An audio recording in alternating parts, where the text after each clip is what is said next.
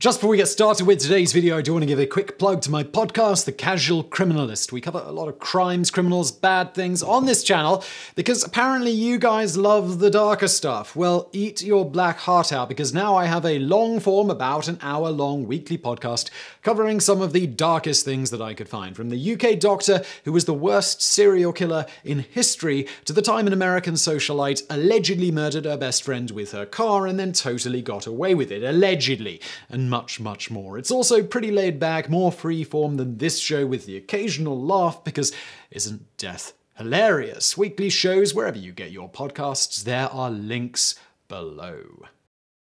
Pop culture has done a lot of work convincing us that serial killers are fiendishly clever, remarkably intelligent. Hannibal Lecter is like every college professor you ever met rolled into one with a charming little cannibal center. In real life, however, things don't necessarily work like they do in the movies. For instance, a number of very prolific killers ended up getting caught because of some really stupid mistakes. In the video today, 10 of them.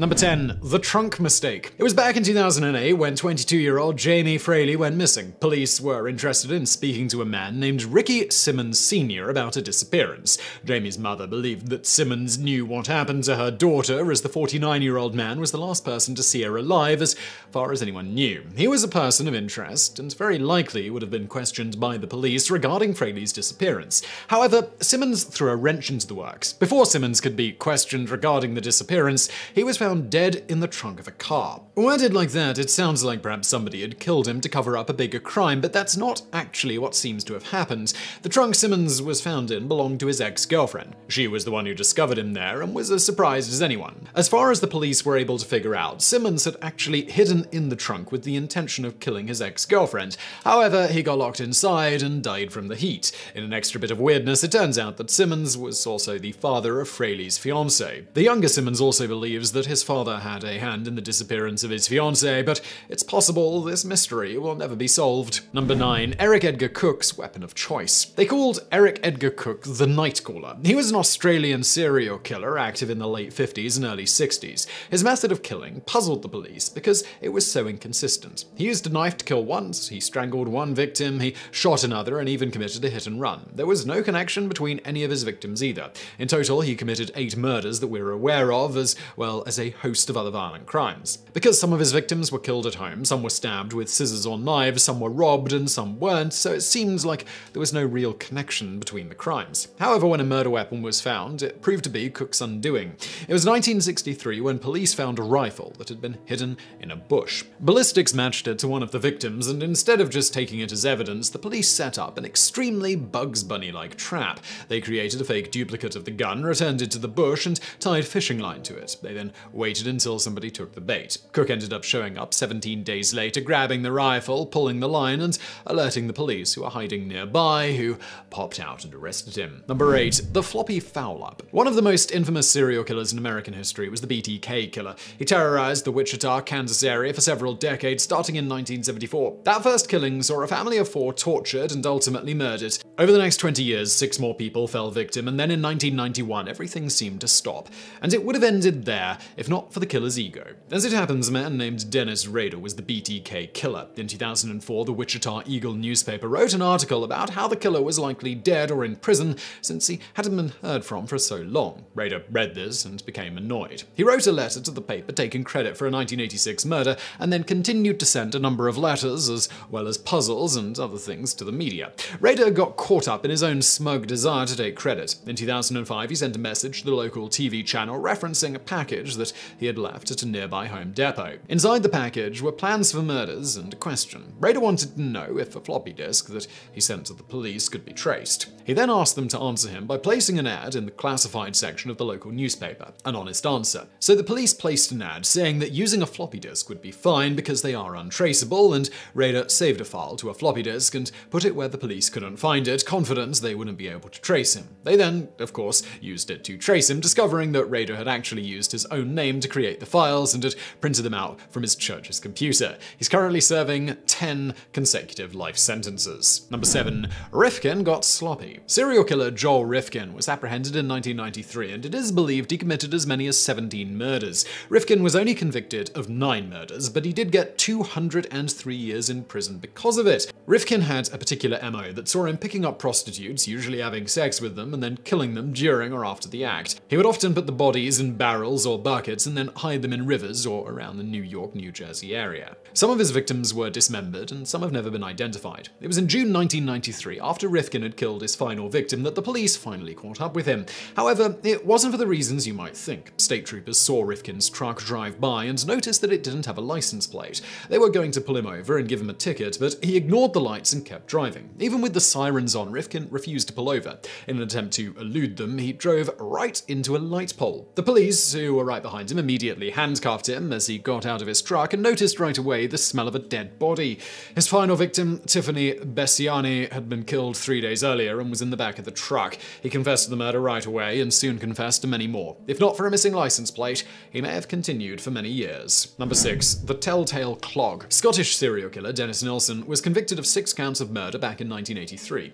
It's believed he killed 15 young men over the course of five years between 1978 and 1983. He was sentenced to life in prison with a recommendation that he serve at least 25 years. He ended up dying there when he was 72 years old in 2018. Nilsen was especially gruesome with his murders. He would strangle or drown his victims and then keep the bodies in his house for weeks or even months before dismembering them. The internal organs would be removed and he committed some especially unspeakable acts with the bodies. Many of the body parts were disposed of near to his house, but some of the smaller parts he flushed down the toilet.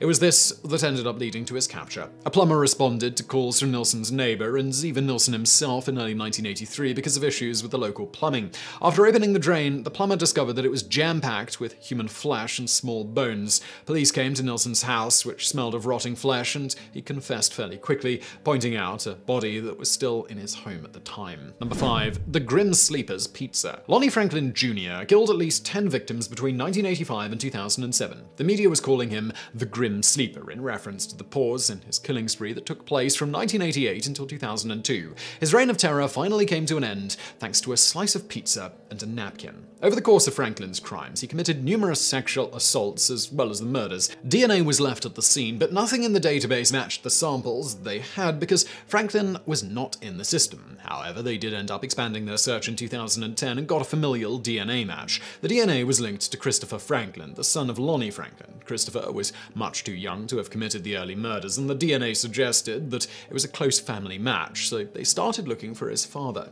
In order to get their man, a police officer went undercover as a waiter at a restaurant where Franklin was known to eat. After the meal, the police collected the napkin and pizza crust from his plate and used it to match DNA to the victims. Franklin was convicted and sentenced to death. He was executed in March of 2020. Number 4. The Salmon Thief. During the 1970s and 1980s, Charles Nart and his partner Leonard Lake committed between 11 and 25 murders. Lake and Nart were known for raping and torturing their victims. After Lake was caught, Nart fled to Canada, where he lived undetected for some time in Fish Creek Provincial Park near Calgary, Alberta.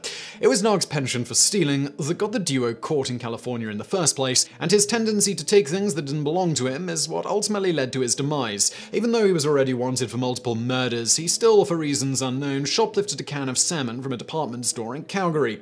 While attempting to resist arrest, he shot the security guard in the hands, which led to him being charged and convicted. He was then later extradited to California, where he was given the death penalty, and he died by lethal injection in 1999. Number 3. Son of Sam's Parking Tickets David Berkowitz, better known as the Son of Sam, terrorized New York in the late 1970s. The high-profile serial killings were heavily featured in the media, and the killer continued his spree despite the police's best efforts for months. Berkowitz managed to elude capture despite being the subject of what was the largest manhunt in New York City police history. He killed six people and wounded many others, and even sent letters to the police taunting them for their inability to catch him. The Berkowitz couldn't stop harassing people, is what ended up getting him caught. He would send his neighbors anonymous letters that were unsettling and threatening. Police eventually began to find a pattern and identified Berkowitz as a suspect. Once they did so, they were able to discover that Berkowitz had been using his own car as a getaway vehicle after each murder. When they cross-referenced the parking tickets on the night of the last murder, Berkowitz's car was there and had been ticketed. If not for his need to harass people and his laziness when it came to parking his own car that was registered to his name, he might have continued his murders for an indefinite amount of time. Number 2. The Watermark and Albert Fish. Be thankful that Albert Fish likely existed before your time because he was one of the most terrifying serial killers in history. Known as the werewolf of Wysteria and the Brooklyn vampire, Fish claimed that he had upwards of 100 victims. Only three victims were ever confirmed, and he was convicted in just one killing that got him sent to the electric chair in 1936. Fish was more than just a serial killer. He was a serial rapist and cannibal, and most of his victims were children. He apparently took some perverse pleasure in terrorizing the families of his victims as well, which led to his downfall. He sent a letter to the mother of his final victim explaining in gruesome detail what he did to the young girl. But the envelope he used was stationery that he found in the boarding home where he lived. And even though he removed the return address, he didn't notice that the envelope itself was stamped with a watermark from the New York Private Chauffeurs Benevolent Association. Police were able to trace the envelope to where it had originally come from, and finally to the boarding house where Fish had found it and mailed it. His defense tried to claim that he must clearly have been insane. The jury didn't buy it and sentenced Fish to death. Years later, he would be part of the inspiration for Hannibal Lecter. Number 1. The ID Dropper. You'd be hard pressed to think of a more foolish thing to do at the scene of a crime that you just committed than leave your ID behind. Aside from just staying there and waiting for the police to show up, this is about the worst thing you could conceivably do if you actually wanted to get away with your crime. Bafflingly, this is exactly what Peter Goebbels did. Goebbels was a serial killer and rapist in Germany in the mid 1980s. Police were building a case and had already linked together four separate crimes when Goebbels left the scene of his most recent crime, dropping his ID card behind him. Despite claiming that he was sick in the head, he ended up getting life in prison. So I really hope you found that video interesting. If you did, please do hit that thumbs up button below. Don't forget to subscribe, and as always, thank you for watching.